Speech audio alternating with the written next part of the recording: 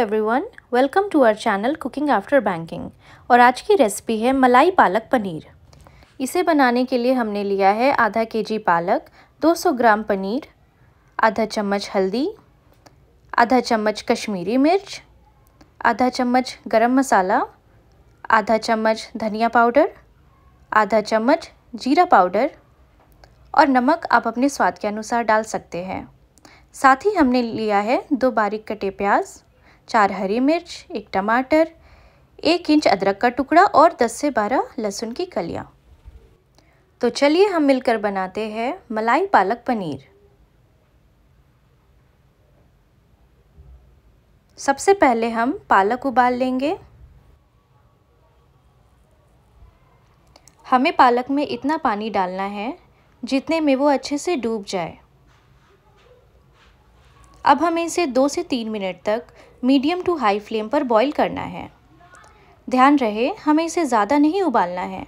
अगर हम इसे ज़्यादा उबाल लेंगे तो पालक का हरापन नहीं रहेगा। पालक अब उबल चुका है, इसे अब हम प्लेट में निकाल देंगे। अब हम कढ़ाई में एक चम्मच सरसों का तेल डालेंगे।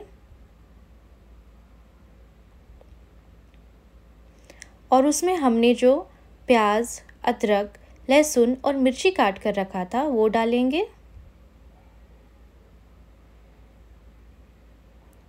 और इसे एक से दो मिनट तक फ्राई कर लेंगे।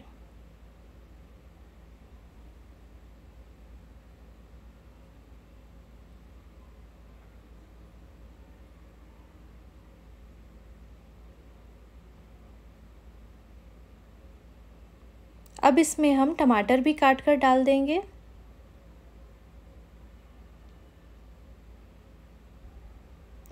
और उसे भी अच्छे से फ्राई कर लेंगे।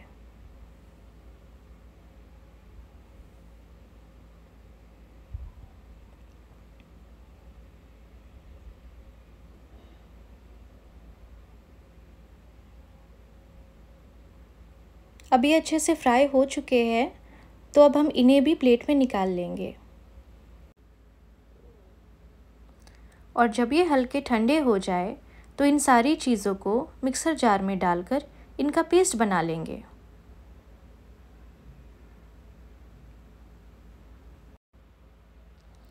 अब उसी कढ़ाई में हम एक चम्मच सरसों का तेल डालेंगे और साथ ही दो चम्मच के लगभग देसी घी डालेंगे।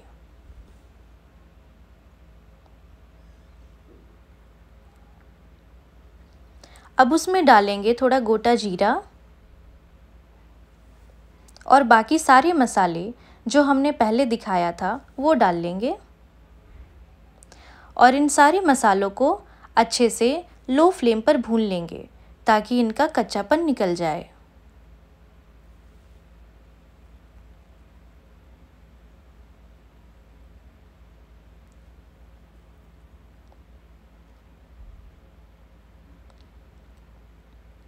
अब हमने पालक और प्याज का जो पेस्ट बनाया था उसे भी कढ़ाई में डालकर अच्छे से मिला लेंगे।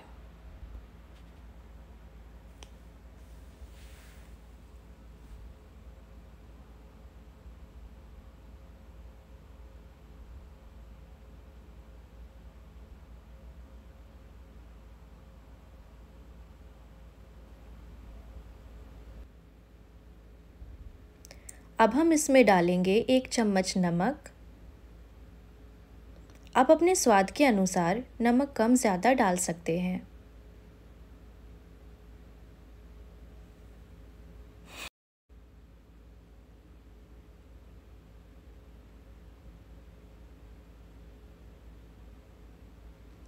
अब हमने जो पनीर काट कर रखे थे, उसे इस पालक के पेस्ट में मिला देंगे। और अब इन सारी चीज़ों को मिलाने के बाद इसे ढककर लो फ्लेम पर पाँच मिनट तक पकने के लिए छोड़ देंगे।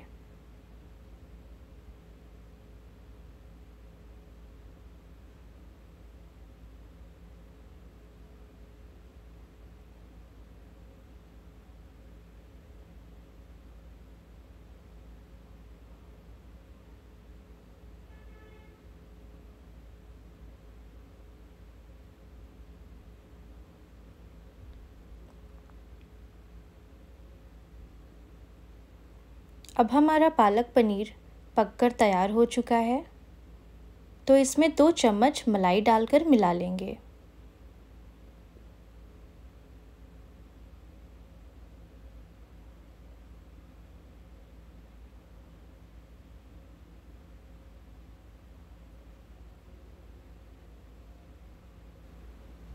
हमारी रेसिपी बनकर रेडी हो चुकी है तो आइए इसे सर्व कर लेते हैं।